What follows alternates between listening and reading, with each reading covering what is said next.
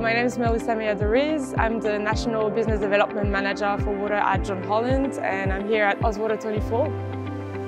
Yeah, my experience with uh, Expocentric's been fantastic. Um, I must say that um, they've been really dynamic and uh, supportive in the way of like really bringing to life the, uh, the concept design that we had in mind. They also suggested a few approaches, for example, uh, the wave and the design of the wave that we have at the top of the stand. Uh, that was something that they were really involved to support in terms of how we could bring that design to life. So that was really a good feature that a lot of people have been mentioning along the, the conference.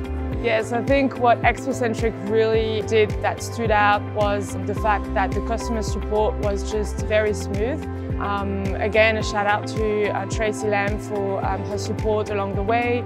It's been really fantastic to work with her and, and the team. Tony as well, the designer, was really great to um, give us some insights on um, how we could bring the design a bit differently for the waves so, and the banners.